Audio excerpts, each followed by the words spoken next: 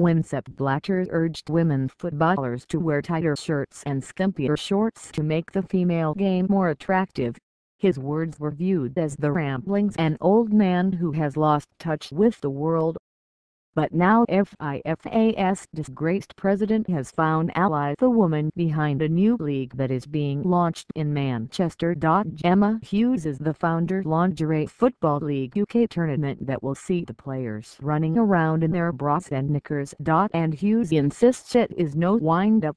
She believes her idea will take off that it is the best way attract much needed sponsorship to the women's game. I am 23 years old now and I don't want to be waiting another 20 years to see women's football make money from sponsorships.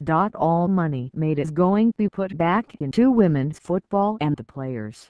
This not about the players looking beautiful sexy about women looking like women.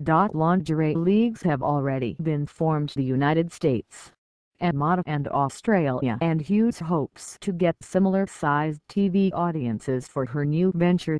Hughes describes herself as experiential marketer and lingerie blogger, insists she is striking the blow for equality.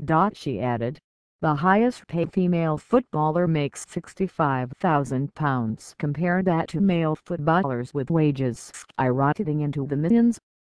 Women train as hard as men. Women as dedicated to the beautiful game men so women should enjoy the same rewards. Did you know head of the Women's Elite Performance Unit in sport is a man? Question mark LFLUK will increase public interest women's football so that women's teams can play to packed stadiums, just like the elite men's football teams.